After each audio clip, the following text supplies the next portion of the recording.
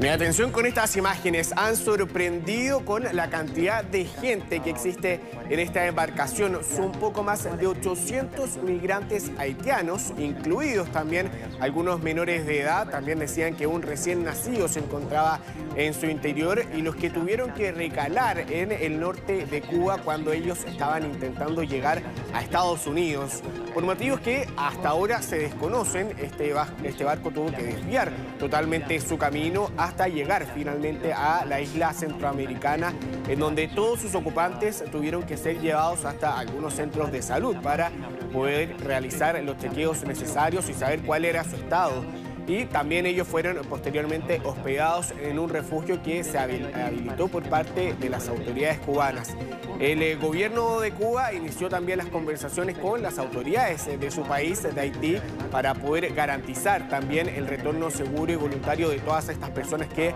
han sorprendido por esta gran cantidad de eh, habitantes haitianos que se encontraban al interior de esta embarcación. La eficiente operación de recepción